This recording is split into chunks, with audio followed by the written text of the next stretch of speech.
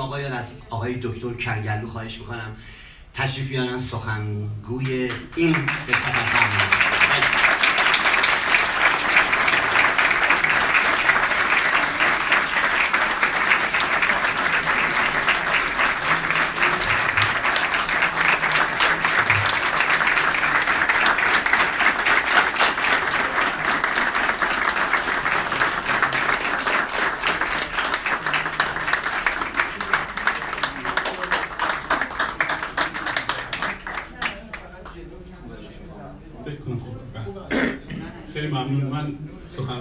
حرارت نخواهد بود ولی سعی می‌کنم یه چیزایی رو بگم که فکر کنم که همتون رو خوشحال بکنه.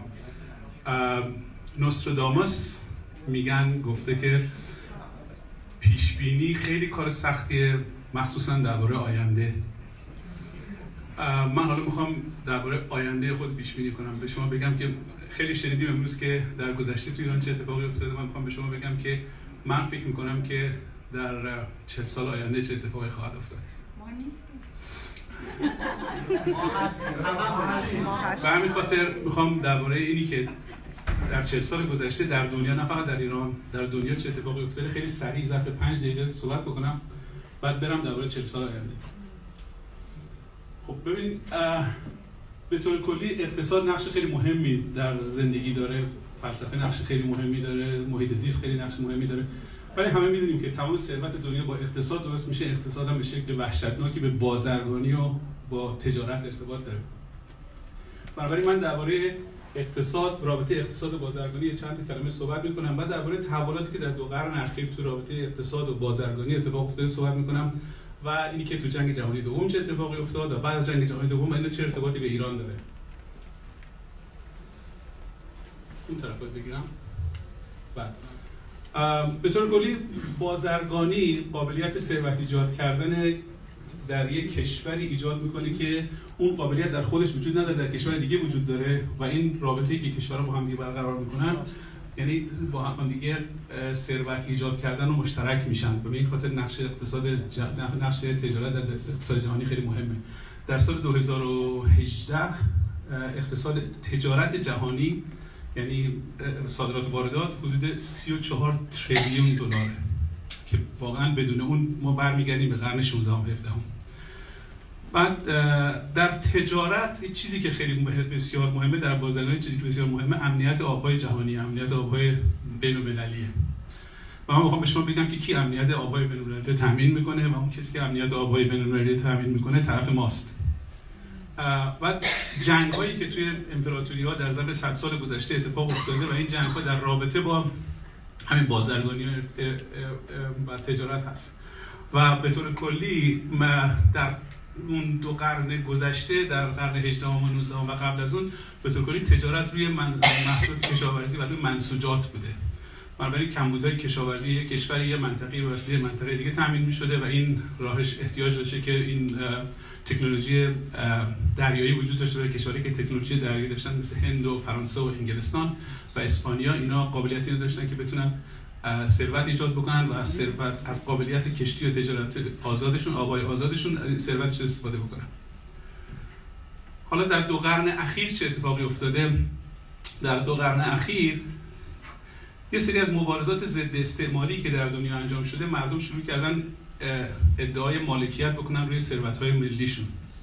و اجازه ندن ثروت ملیشون به تاراج بره همون کاری که مثلا مردم هندوستان کردن همون کاری که مردم ایران کردن همون کاری که خیلی از مردم دنیا واقعا در دو قرن گذشته با آگاهی و آشنایی با چپاولی که اموال ملیشون داشت انجام می‌شد شروع کردن به ادعای این امرا که اموال ملیشون و این مبارزات ضد استعماری نقش بسیار مهمی داشت در تعیین توزیع ثروت در سطح جهان.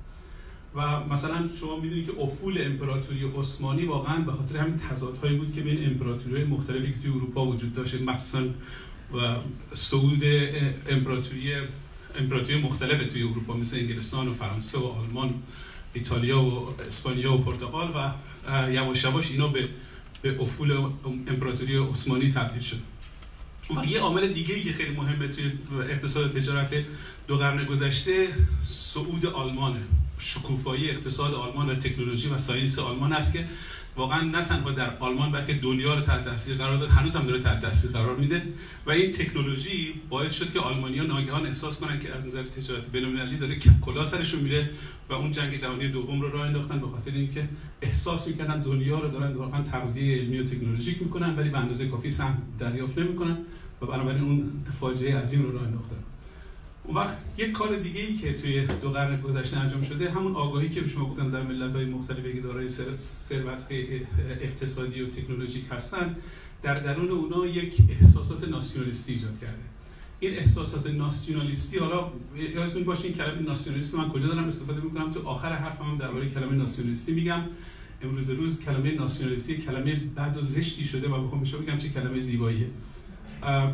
بعد ما حالا برمیگردیم به جنگ جهانی دوم و اینی که بعد از جنگ جهانی دوم به خاطر نوعی که جنگ جهانی دوم تموم شد یعنی بدون آمریکا جنگ جهانی دوم نمی‌تونست تموم بشه به نفع دول متحد به نفع بقیه دنیا غیر از آلمان.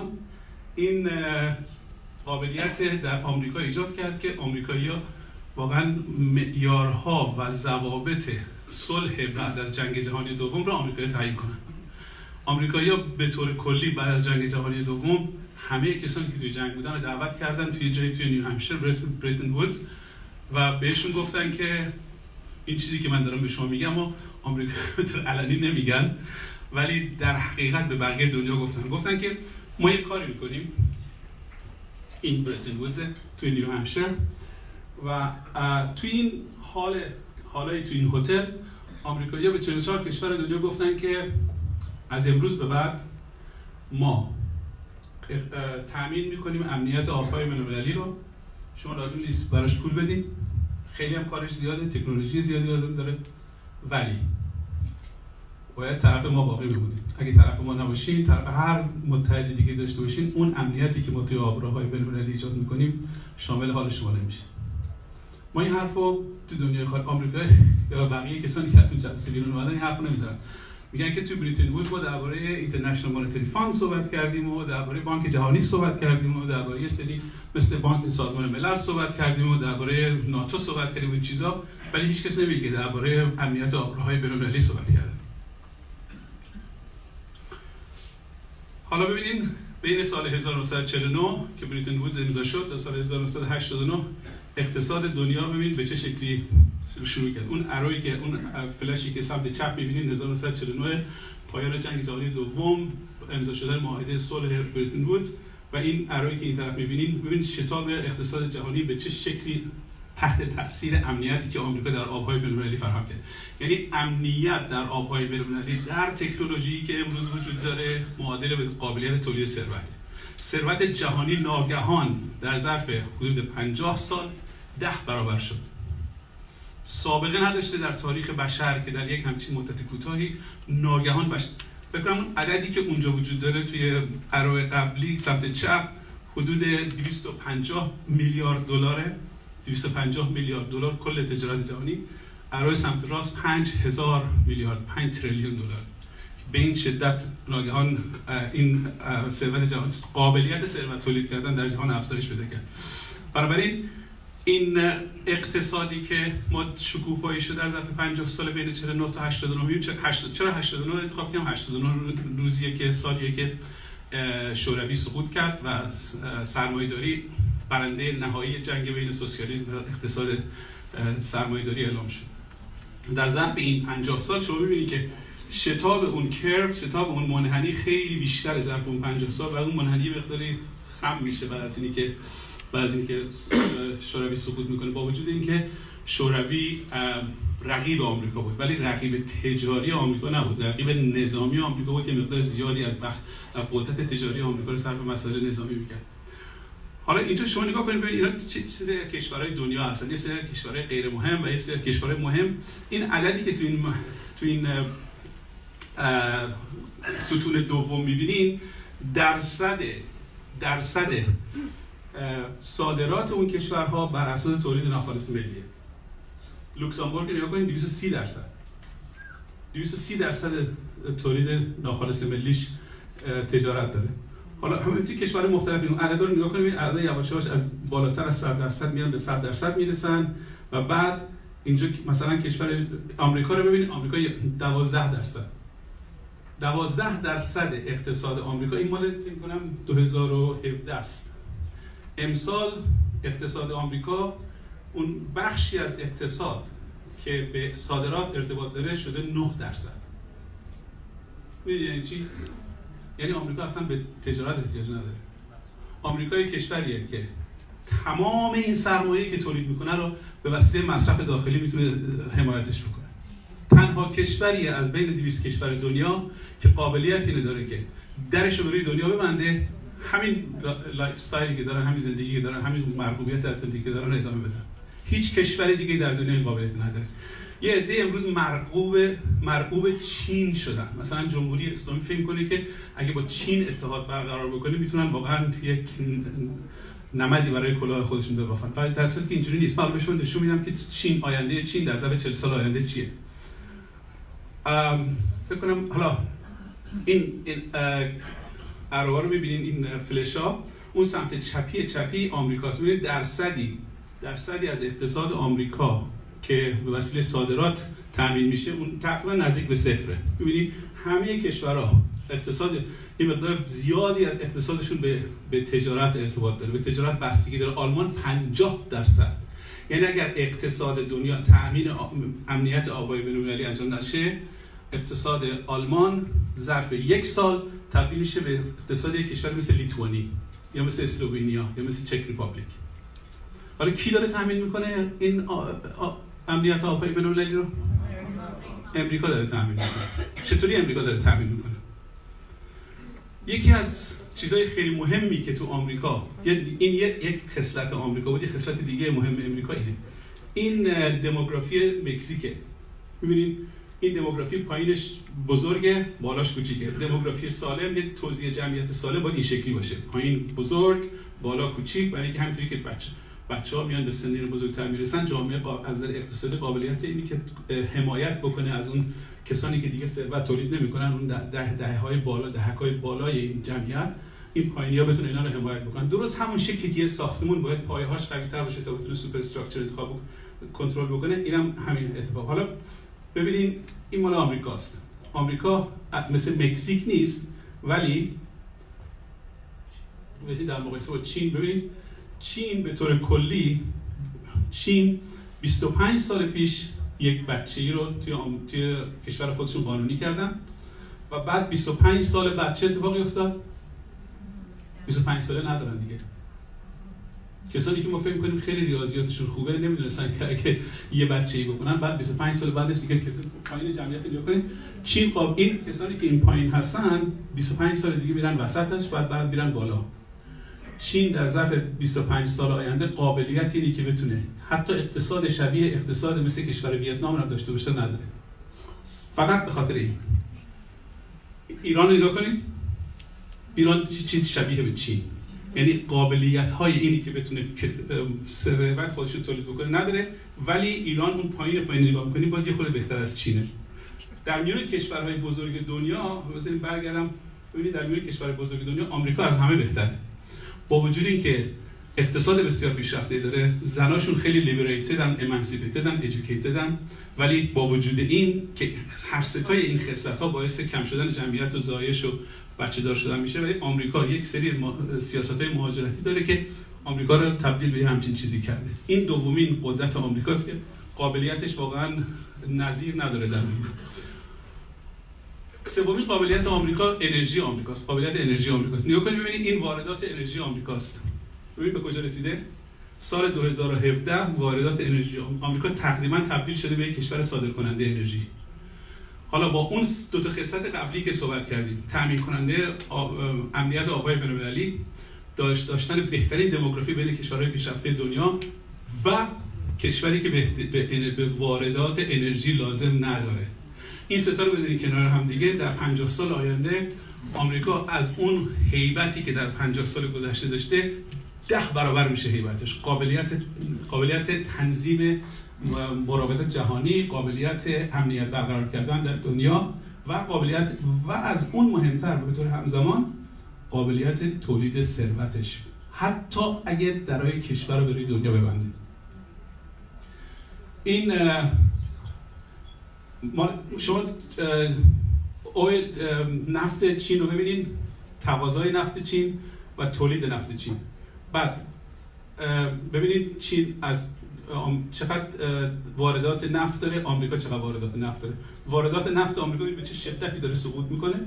و تکنولوژی رو آمریکا درست کرده تکنولوژی شل اویل که این تکنولوژی شل اویل به طور کلی آمریکا را نه تنها بینیاز کرده به تولید نفت بلکه آمریکا رو تبدیل به صادر کننده نفت کرده. این شل اویلی که این موقعی که اولین بار به دنیا عرضه شد همه مسخرش می‌کردن. این شل اویله. به طور کلی درل می‌برن حدود یک مایل درل به زیر زمین و درل کردن افقی. درل کردن افقی کار هر کسی نیست. تکنولوژی بسیار بسیار پیچیده و پیشرفته که آمریکایی‌ها درستش کردن و بعد این درل کردن افقی رو تا یک مایل می‌تونن درلش بکنن. یک مایل عمودی یک مایل افقی. بعد از این تکنولوژی سه چهار تا تکنولوژی دیگر رو با این سوار کردن سوار همدیگه کردن. یعنی که اون اون شفت عمودی که می‌بینین رو کنارش یه سری سنسورهای خیلی حساس آلتراساوند می‌ذارن که اونا تمام اون لایه های زیر زمین رو به دقت ازشون نمونه برداری کنه بفرسته بالا. اینا به وسیله اون سنسوری که می‌ذارن دقیقا می‌دونن که کجا باید چاه بکنن کجا نباید چاه بکنن. درصد موفقیت کندن چاه و رسیدن به شل اویل تو آمریکا شده 92 درصد. و تمام خاک آمریکا رو دقیقا مپ کردن و می‌دونن دقیقا میدان های نفتی شل اویل کجاها هست. تقریبا همه آمریکا میدان شل اویل داره با این تکنولوژی. با این تکنولوژی که هر جا هست پیداش می‌کنن یعنی پیداش کردن و به درصد بسیار بالایی بازیابیش می‌کنن. این هم تضمین کننده امنیت آبای بین‌المللی اون پایینیه که می‌بینید اون ناو هواپیما پایینی که می‌بینید ابراهام لینکلنه اون یکی بالایی که می‌بینید جان استنس این دو تا ناوا دارن از کنار همدیگه رد میشن اینجا خلیج فارسه. این ناو هواپیمایی که پایین داره می‌بینید در دنیا 11 تا وجود داره. هر 11 تاش مال آمریکاست. هیچ کشوری نداره این تکنولوژی. یعنی به, به, به ادعای خودشون ناو هواپیما بردارن. ولی نه ابراهام لینکن. ابراهام لینکن یه ناویه که غیر قابل غرق شدنه. حتی اون کشتیایی که جمهوری اسلامی ببخشید اون موشک‌های زده کشتی که جمهوری اسلامی ادعا می‌کنه یا یا چین ادعا می‌کنه. هیچ کدومشون قابلیت غرق کردن اینو ندارن. 11 تا از اینا آبهای تمام تمام رو تامین امنیت می‌کنن و کسی در آینده قابلیت و توان رقابت با آمریکا رو نداره و همه کشورهای دنیا با طرف اون کسی باشن که اینو رو داره. برای بدون اینا تامین امنیتی وجود نداره. منتها چرا ما تا الان نمی‌دونستیم؟ این یه, عکس دیگه یه که از همون استنسست و الاسترس دو تا, دو تا ناو هواپیما کوچکتر کوچکترن اینا. دنیا 20 تا ناو هواپیما کوچکتر وجود داره حدود 50000 تونی و کوچکتر وجود داره. از این 20 تا 10 تاش مال آمریکاست. تمام ناو سوپر ناوهای هواپیما تمامش مال آمریکاست. این نتیجهشه. این دو تا مقاله است که Wall Street Journal هفته پیش 25 سپتامبر داره می‌نویسه که تمام supply chain management دنیا رو آمریکا داره از چین برمیگردونه به آمریکا. می‌دونی supply chain management یعنی چی؟ یعنی تمام فراورده های که بخواد یه چیزی بسازه یه چیزی به درد بخور مثل cell phone و اتومبیل و هواپیما و کشتی و تلویزیون و کامپیوتر. یه supply chain داره که باید تمام جزئیات این دستگاه هایی که ساخته میشه از کشورهای مختلف دنیا به طرف کارخونه فرستاده بشه که تو بتونه کارخونه رو درست بکنه. ظرف 40 سال گذشته چین با اجازه آمریکا و با کمک آمریکا شنیدی میگن سگ سایه دیوار خوابیده فکر کنه سایه دمش خوابیده؟ با اجازه آمریکا اجازه دادن که این supply chain management رو در دنیا بسازن و حالا آمریکا تحت حکومت President ترامپ بهشون گفته که شما یا باید این کسری موازنه تجارت بین آمریکا و چین رو که حدود سال 600 میلیارد دلاره یا باید این رو صفرش کنید یا ما دو تا کار رو دیگه نمی‌کنیم. یکی آبهای بین‌المللی برای شما تامین نمی‌کنیم امنیتش رو یکی که supply chain management رو دیگه اجازه نمیدیم به طرف شما بیاد. چینی ها یه خورده سعی کردن سخت با آمریکا معامله کنن. آمریکایی این کار کردن. supply chain management رو علنا و عملا کشتن دیگه supply chain management به طرف آمریکا داره میاد این مقاله دومی بخونید نوشته چی نوشته که Foxconn Foxconn بزرگترین کارخونه ساخت وسایل الکترونیکی توی توی چین هست که لپتاپ می‌سازه و cell phone می‌سازه و اینا داره کارخونه اصلیش رو منتقل می‌کنه به ویسکانسن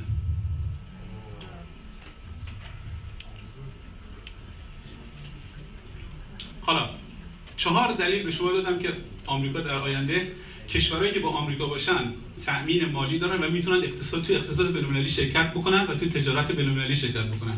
اگه با آمریکا نباشن به هیچ وجه حتی نمی‌تونن زرچوبه صادر کنن. حالا یه نکته دیگه می‌خوام بگم قبل از اینکه وقتم تموم شه. چقدر از وقت من مونده؟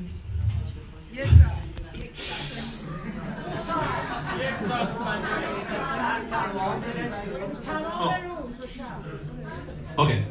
دو دقیقه دیگه تمومش می‌کنم. حالا می‌خوام درباره یه چیز دیگه صحبت کنم. درباره اون مسئله ای که واقعا دامنگیر ما هست. این مسئله قبلی هم دامنگیر ما بودین. ده 15 دقیقه که صحبت کردم. دامنگیر ما بوده. منتها جمهوری اسلامی نمی‌فهمی حرفایی که برای علیه آمریکا می‌زنن واقعا فکر می‌کنن که می‌تونن آمریکا رو چالش بکنن در در سطح بین‌المللی چین نمی‌تونه آمریکا رو چالش بکنه. روسیه نمی‌تونه آمریکا رو چالش بکنه. چه برسه به جمهوری اسلامی؟ حالا این درسته که این. این درباره شرایط اقتصادی و نظامی و جمعیتی که به شما گفتم حقایقی که درباره مسائل اقتصادی نظامی امنیتی درباره نظام نوین جهانی چه اهمیتی داره و چه نقشی بازی خواهد کرد حالا یه مسئله دیگه هم هست و اون فلسفه سیاسی می‌خوام این فلسفه سیاسی به طور کلی در زندگی من و شما چه نقشی داشته و چه نقشی خواهد داشت در ظرف 40 سال آینده به طور کلی میشه تو یک دقیقه گفت که انسان یه موجودیه که دو وجه متمایز داره. یکی وجه فردی داره یکی وجه اجتماعی داره. به, به طور کلی میشه گفت که هر دو وجه این هر دو این وجه در انسان وجود داره وجود وجود وجود متضاد داره. ما ما تنها به دنیا میاییم و تنها هم از دنیا میریم و در تمام زندگیمون هم احساس تنهایی می‌کنیم حتی در بیون جمع. بنابراین میشه بحث کرد که واقعا انسان یه موجود تنهاییه. منتها به خاطر وحشت از این تنهایی به اجتماعی شدن رو میاره. بنابراین در دنیای لیبرالیسم اومدن این یه سری از متفکرین دنیای لیبرالیسم در قرن 17 و 18 مثل هابز و جان ژاک روسو جان لاک اومدن همین حرف زدن. چون انسان تنها هست چون انسان تنها به دنیا میاد تنها میمیره. بنابراین باید این برای این تنهایی انسان رو فردیت انسان و اندیویدوالیتی انسان رو ما به رسمیت بشناسیم و براش یک حقوقی تضمین بکنیم. به این تئوری چی گفتن؟ لیبرالیسم.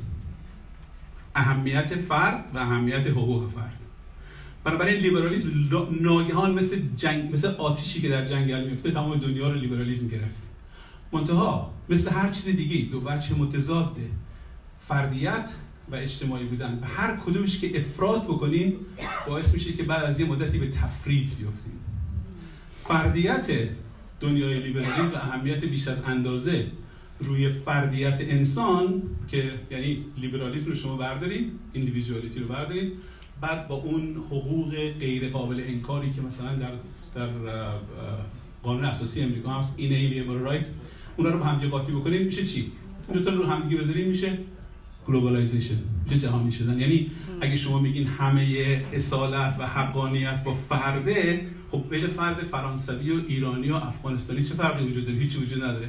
برای همون حقوقی که برای آمریکایی و برای انگلیسی قائل هستیم باید برای فرانسه برای افغانستانی و ایرانی هم قائل باشیم. ناگهان مرزها برداشته میشه و جهانی میشه. شخصیت انسان. منتها همراه با جهانی شدن انسان اقتصادم جهانی شد. موقع اقتصاد جهانی شد ناگهان سطح اقتصادی سطح کیفیت زندگی مردم در اروپا و آمریکا ناگهان سقوط کرد. یعنی این افراد در لیبرالیسم که باعث شد که اون یکی جنبه که هنوز در باش صحبت نکردیم اون جنبه اجتماعی چی میگه؟ اون جنبه اجتماعی میگه که انسان تنها به دنیا نمیاد. انسان از همون اولی که به دنیا میاد با مادر خودش رابطه برقرار می‌کنه. بنابراین انسان از همون لحظه تولد یه موجود اجتماعیه.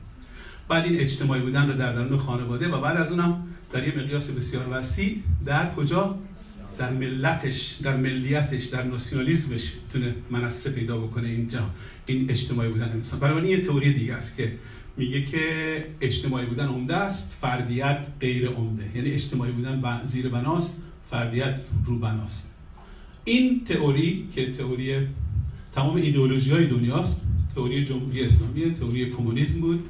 و تئوری جهانی شدن هست. این تئوری ها باعث شده که تمام این مشکلاتی که ما داریم می‌بینیم تمام واقعا ظهور فاشیسم ظهور اولتراناسیونالیسم تو اروپا و ظهور یه سری تفکراتی که واقعا می‌تونه به جنگ های بزرگی منتج بشه این ناشی از اینه. ناشی از اینه که ما داریم از اون ور ساختمون از اون ور بام میفتیم حالا واقعیت اینه که در دنیای مدرن باید کشورهای موفقن که بلنسی بین لیبرالیسم و ناسیونالیسم برقرار بکنن. یعنی اگر شما از ناسیونالیسم بگذارین همون چیزی که خیلی از سخنرانان امروز دربارش صحبت کردن. نمی‌تونین ناسیونالیسم رو نادیده بگیرین نمی‌تونین اوریانش کنین.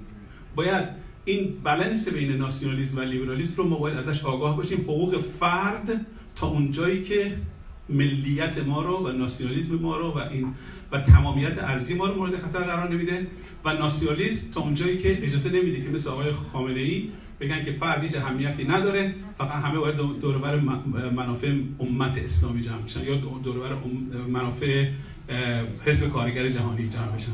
به هر صورت.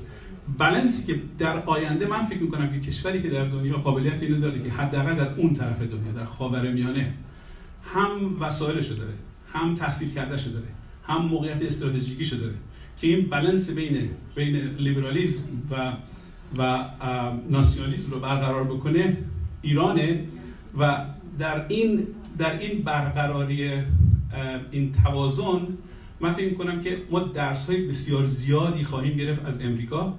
درس های بسیار زیادی خواهیم گرفت از اتفاقاتی که داره تو اروپا میفته. از این واقعا از این ظهور انفجارآمیز ناسیونالیسم. اروپایی ها و آمریکایی خیلی احتمال داره به طرف ناسیونالیسم خیلی اولترا ناسیونالیسم مثل نازیسم قرن 20 برن. ولی ولی من فکر می‌کنم که در آمریکا به طور مشخص به اون چهار دلیلی که اول گفتم آمریکا یه سری رسالتایی داره که این رسالت‌ها باعث میشه که هم موقعیت جغرافیایش داره هم از نظر جمعیتی هم از نظر اقتصادی هم از نظر از نظر میکاپس. واقعا توزیع انواع مختلف تکنولوژی که در آمریکا وجود داره آمریکا این قابلیت اینو داره که این توازن بین بین لیبرالیسم و ناسیونالیسم برقرار بکنه و هیچ به طرف فاشیسم نره. الان در آمریکا کسی سر کاره که به نظر من داره جنبه ناسیونالیسمی آمریکا رو قوی می‌کنه و به, دوست به اصطلاح دوستان آمریکا یا متحدین آمریکا گفته که ما این چیزها رو داریم. هم به اروپایی گفته. به اروپایی که گفته که این ناتویی که شما فکر می‌کنیم ما نمی‌تونیم ازش بگذریم خیلی به راحتی می‌تونیم ازش بگذریم. شما دو درصد به خودتون در ظرف 70 سال گذشته ندادیم و هر کدوم از شما به ما یه مقدار زیادی بدهکاریم میگن که انگلا مرکل اومده بوده بلافاصله که ترامپ رئیس جمهور شد اومد که به ترامپ تبریک بگه و به ترامپ میگه که یه لکچر به ترامپ میده. بهش میگه که می‌دونی چه اهمیتی آلمان داره چه اهمیتی اروپا داره؟ اگه شما اروپا رو بذارید بره اگه آلمان رو بذارید بره این اتفاق میفته و اتفاق میفته ترامپ به حرفاش گوش می‌کنه بعد میگه که خب چیکار کنیم؟ میگه که ما منافع آمریکا رو می‌خوایم در نظر بگیریم. خیلی براشفته میشه بلند میشه بره. موقع داره میره ترامپ صداش می‌کنه بهش میگه که یه کاغذی بهش میده میگه این رسید مخارجی که در ظرف 70 سال گذشته ما برای شما پرداختیم. شما اینقدر به ما بدهکاری